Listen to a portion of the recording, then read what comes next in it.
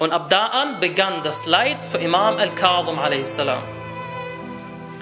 15 Jahre seines Lebens hat Imam 15 Jahre hat der Imam im Gefängnis verbracht. Von einem Gefängnis zum anderen verschleppt.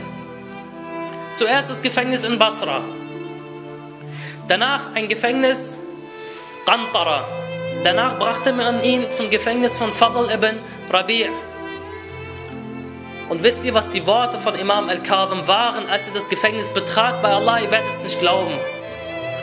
Als Imam al-Kadhim das Gefängnis betrat, sagte er, oh Allah, ich habe dich mein gesamtes Leben darum gebeten, dass du mir eine Möglichkeit gibst, an einem kleinen Ort dich in Ruhe anzubeten. Ich danke dir dafür, dass du mir nun diese Möglichkeit gegeben hast. Wer von uns würde an sowas denken? Zu Unrecht im Gefängnis und dann dankt er Allah subhanahu wa ta'ala dafür, dass er ihn nun in Ruhe anbeten kann. Die Überlieferungen berichten, man hat die schönste Frau von Arabien geholt und sie in die Zelle von Imam al-Kadhim gesteckt. Die schönste Frau, die es gab, hat man zum Imam in die Zelle hereingebracht. Und sie sagte zu ihm, O du, ich bin bereit, dir alles zu geben, was du von mir willst. Sag, was du willst und ich gebe es dir. Der Imam hat sie ignoriert.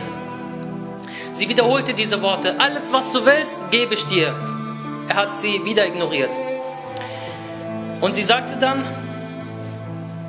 egal, der Khalif hat mich zu dir geschickt, egal was du von mir möchtest, ich bin bereit es dir zu geben. Und der Imam a.s. wandte sich zu ihr und er sagte, weshalb soll ich mich an dich wenden, wenn Allah subhanahu wa ta'ala mir viel mehr bietet, als du es je könntest? Wieso soll ich mich an dich wenden? Allah gibt mir viel mehr. Und die Überlieferungen berichten, die Wachen kamen nach einigen Stunden wieder. Sie sahen Imam al-Karim im Sujud und die Frau dahinter im Sujud. Man hat Männer geschickt, die kein Arabisch sprechen konnten. Man hat extra Männer in die Zelle von Imam al-Karim gebracht, die kein Arabisch konnten. Sie sollten ihn foltern und töten. Nach einigen Stunden kamen sie als Muslime wieder raus. Die Wachen sagten zu ihm, was ist geschehen? Ihr solltet ihn töten. Sie sagten bei Allah, er hat angefangen in unserer Sprache mit uns zu sprechen und uns den Islam erklärt und wir haben den Islam jetzt angenommen. Fadl ibn Rabi', der Eigentümer des Gefängnisses, er sagte, wie soll ich jemanden foltern, der am Tage fastet und in der Nacht betet? Wie Imam al-Kadhim im Gefängnis hat am Tage gefastet und in der Nacht gebetet. Imam al-Kadhim hat seine Nächte in der Niederwerfung zu Allah subhanahu wa ta'ala verbracht. Nach dem Gefängnis von Fadl ibn Rabi' brachte man ihn zum Gefängnis von Fadl ibn Yahya. Nach dem Gefängnis von Fadl ibn Yahya brachte man ihn in ein Gefängnis El-Sindi. Und dieses Gefängnis, wie soll man es beschreiben? Normalerweise hat man in einer Zelle Platz, wo man sich bewegen kann. Das Gefängnis von El-Sindi war nur so breit wie der Körper des Menschen. Das heißt, er konnte sich nur so reinstellen. Er konnte sich nicht einmal hinsetzen. Und oben drüber hat man einen Stein gelegt also die Grube hat man einen Stein gelegt, sodass der Imam nicht wusste, wann Tag und wann Nacht ist. Er konnte nur stehen, weil die Zelle so eng war quasi. Er konnte sich nicht einmal hinsetzen. Und er sagte zu den Wachen, oh Wachen, wenn ihr bitte wenigstens, wenn ihr beten geht, sagt mir, dass ihr beten geht, damit ich meine Gebete zu der richtigen Zeit verrichten kann, weil ich nicht weiß, wann Tag und wann Nacht ist. Und einmal hat man den Stein zur Seite bewegt und der Imam a.s. hat versucht zu schauen, ist es gerade Tag, ist es gerade Nacht? Damit er weiß, wie die Gebete sind. Und dann kam einer der Wache und hat ihn mit dem Fuß ins Gesicht geschlagen. Man hat das Gesicht von Imam al-Kadhim a.s. geschlagen. Bei Allah, wenn wir am Tage des Gerichts vor unserem Imam stehen und er sieht unsere Gebete, wir haben unsere Gebete vernachlässigt, was sollen wir ihm dann sagen?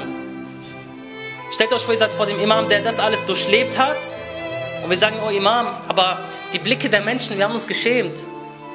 Ist das kein Verrat an den Imam? Ist das kein Verrat an die Ahlul Bayt salam? Imam al-Hussein hat sein Blut für den Islam gegeben, damit wir heute beten können. Damit wir heute das Gebet haben. Al-Islam Muhammadiyul Wujud, Husayniyul Baqa. Der Islam ist muhammedanischen Ursprungs, husaynitischen Verbleibens. Ohne Imam Hussein, was für ein Islam hätten wir heute? Wir hätten einen Islam, wo Musik gespielt wird, einen Islam, wo es keine Gebete gibt, einen Islam mit Alkohol. So einen Islam hätten wir. Ein Islam, wo alles verfälscht ist. Und dann kommen wir, wenn wir uns am Tage des Gerichts vor dem Imam, wenn der Imam uns fragt, wie seid ihr mit dem Gebet umgegangen? Wie seid ihr mit meiner Botschaft? Wie seid ihr mit meinem Islam umgegangen? Sagen, oh Imam, aber Es war schwierig. Wir waren in Deutschland, stimmt, aber es war schwierig für uns, in Islam zu leben. Dann sagt er, wisst ihr denn nicht, wie ich im Gefängnis gefoltert wurde, damit ihr das Gebet habt? Damit ihr das Gebet hattet, wurde ich und meine Familie, wir wurden alle getötet. Sahib al-sajdat al-tawila. Assalamu alaikum ya imam al-masmum. Assalamu alaikum, der Friede sei mit dir, O Imam, der vergiftete Imam, der geduldige Imam. Der Imam, der alles geopfert hat, er und seine Gefährten, damit wir heute unsere Religion hier haben, damit wir uns jeden Freitag hier versammeln können. Wie gehen wir mit diesem Erbe um? Jeder einzelne von uns wird am Tage des Gerichts befragt, wie seid ihr mit dem Erbe von Imam al-Karum umgegangen? Jeder von uns. Keiner kann denken, er kann sich rausreden. Und dennoch sehen wir Leute, die keine Ahnung von Imam al-Karum haben, die nichts über ihn wissen, außer vielleicht seinen Namen und dass er der Sohn von Imam Sadiq war und der Vater von Imam Rida. Das war's. Sodass, wenn man ihn besuchen geht im Irak, kann man nicht über ihn weinen. Wieso? Weil man nichts über ihn weiß. Das ist Imam Kadr, das sind unsere Imame, über die wir sagen, wir lieben sie und wir befolgen sie, aber wo? Daher möchten wir nun unsere Herzen gemeinsam wenden nach Irak zu Imam al-Kadhim a.s und unsere Ziyara und unseren Bund mit ihm erneuern. Ab dem heutigen Tag sagen wir, oh Imam, wir kannten dich vorher nicht. Heute kennen wir dich. Wir wissen nun, was du ertragen musstest. Wir werden ab heute auf dein Erbe aufpassen. Niemals werden wir unsere Gebete vernachlässigen. Niemals werden wir unsere religiösen Verpflichtungen vernachlässigen, O Imam. Wir wissen, was du erleiden musstest, damit die Botschaft deines Großvaters an uns herankommt.